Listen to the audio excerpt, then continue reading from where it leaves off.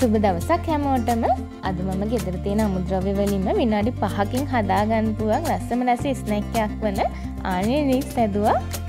ඒ වගේම මම මේ ආනියන් රින්ග්ස් කන්න චීස් සෝස් එකකුත් හදාගත්තා. අපි අද හදන්න යන්නේ ආනියන් රින්ග්ස්.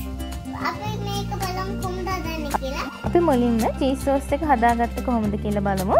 මම මුලින්ම පෑන් එකක් ලිපෙන් තියලා ඒකට බටර් මේ සැන්දක් මම මේ විදිහට එකතු කරගන්නවා. එකතු කරගෙන බටර් ටික ටිකක් දිය වුණාට පස්සේ පාන් පිටි තේ හැන්දක් මම මේකට එකතු කරගන්නවා. එකතු කරගෙන හොඳට කලවම් කරගන්නවා.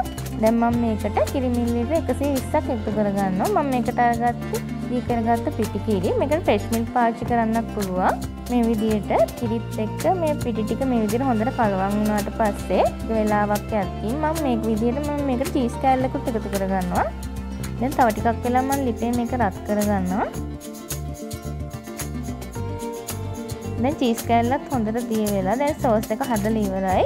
මම මේකට දැන් මේ වෙලාවේදී ලුණු කුට්ටියකුත් එකතු කරගන්නවා. දැන් චීස් සෝස් එක මම මේ විදිහට කප් එකකට දාගන්නවා.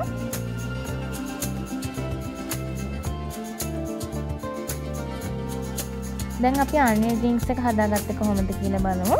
මම මේකට අරගත්තා ලොකු ලුණු ගෙඩි දෙකක්.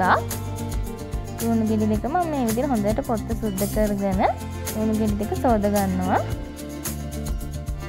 සෝදගෙන මම මේ විදිහට මේ ලුණු මේ විදිහට රවුමට කපා ගන්නවා.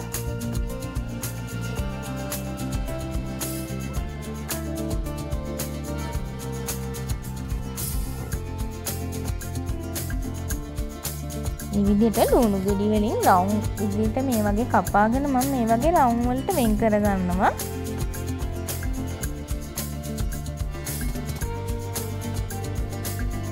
ඒ විදිහට මම ලුණු ගෙඩි දෙකේම රවුම් මේ වගේ කපාගෙන මේ විදිහට රවුම් වලට වෙන් කරගන්නවා. දැන් මම පාම් පිටි වලින් මේ සෑන්දි හතරක් විතර මේ විදිහට කප් එකකට මුලින්ම දාගන්නවා. දාගෙන මං ඉස්සෙල්ලා කපාගත්ත ලූණු රවුම් මේ විදිහට පාන් පිටි වලින් තවර ගන්නවා. ලූණු වල මේ විදිහට පාන් පිටි තවර ගත්තාම ලූණු වල තියෙන වතුර ගතිය නැති වෙන හින්දා එතකොට මේ ස්නැක් එක ක්‍රිස්පි ගතියට බැද ගන්න පුළුවන්. දැන් මං පාන් කුඩු තවට ගන්න ඕනේ මිශ්‍රණය හදාගන්න යන්නේ. ඒකට මම ඉස්සල්ල කරගත්තු පාම් පිටි ටිකට ලුණු කුඩු තේ හැඳි භාගයකුයි මිරිස් කුඩු ටිකකුයි කහ කුඩු ටිකකුයි මේ විදිහට එකතු කරගන්නවා. එකතු කරගෙන මම ඒකට බිත්තරයකුත් මම මේ විදිහට එකතු කරගන්නවා.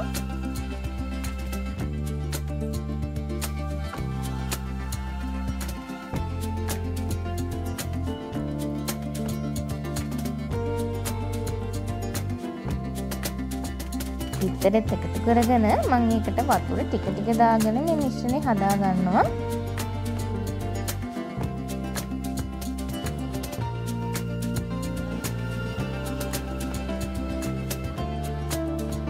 මේ විදිහට වතුර ටික ටික දාගෙන අපි මේ පිටි ටික කැට හිතෙන්නේ නැති වෙන හොඳට කලවම් කරගන්න ඕනේ.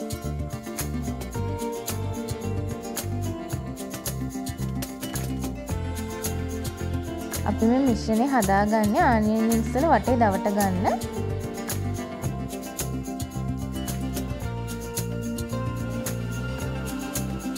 දැන් මෙන්න මේ වගේ පදමට ආවට පස්සේ මේ මිශ්‍රණය හරි. දැන් මම මේකට කපාගත්තු ලුණු රවුම් මේ විදිහට එකතු කරගන්නවා.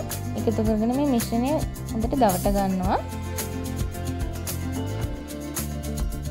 ඒ විදිහට දවටගෙන මම මේක බිස්කට් කුඩු වල මේ විදිහට වටේට දවට ගන්නවා.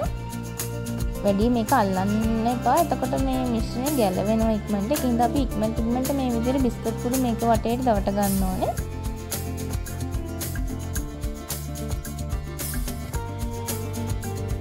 ඒ විදිහට රින්ග්ස් වල මම මේ විදිහට ඔක්කොම බිස්කට් කුඩු දවටගෙන පෑන් එකක් ලිපෙන් තියලා පෑන් එකට තෙල් ටිකක් දාලා මම බිස්කට් කුඩු දවට ගත්ත ලුණු රින්ග්ස් ටික මේ විදිහට තෙල් එකට දාගන්නවා.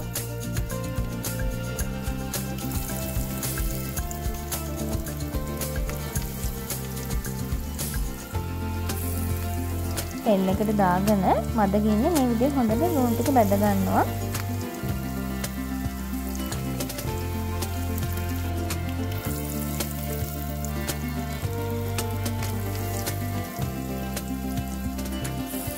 මේ වගේ අනියන් ටික තෙල් එකේ දෙපැත්ත දාගෙන මේ වගේ හොඳට බැද ගන්න ඕනේ.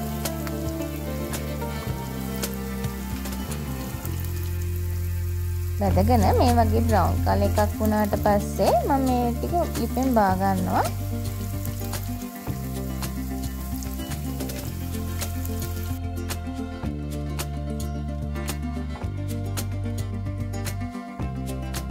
ගන්නවා. මම ඒ විදිහට හදාගත්ත ඔක්කොම අනියන් රින්ග්ස් ටික මේ විදිහට තෙල් එකේ බැද ගන්නවා.